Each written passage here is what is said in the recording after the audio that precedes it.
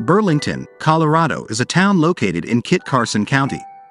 It was founded in 1887 by a group of homesteaders who were drawn to the area by the promise of fertile land. The town was originally called Burlington Junction, but was renamed Burlington in 1890. The early years of Burlington were marked by growth and prosperity. The town was located on a major transportation route, which made it a convenient stop for travelers. In addition, the surrounding area was well suited for farming, and many homesteaders settled in the area. By the 1920s, Burlington had a population of over 1,000 people and boasted a number of businesses, including a bank, a newspaper, and several grain elevators.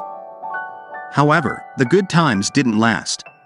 The Dust Bowl and Great Depression of the 1930s devastated the farming community, and many people were forced to leave Burlington. The population of the town declined sharply, and many businesses closed. Burlington never fully recovered from the Dust Bowl and Great Depression. The town's economy has since shifted from farming to ranching, and the population remains relatively small.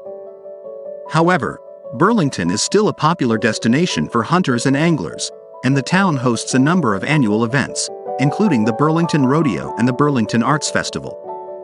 In recent years, Burlington has seen a resurgence of interest. The town has been featured in a number of films and television shows, and it has become a popular destination for tourists and retirees. Burlington is also home to a number of artists and craftspeople, and the town hosts a number of annual events, including the Burlington Rodeo and the Burlington Arts Festival. Burlington is a town with a rich history. It has seen its share of ups and downs, but it has always managed to persevere. Today, Burlington is a popular destination for tourists, hunters, and anglers. It is a town with a unique character and a sense of community.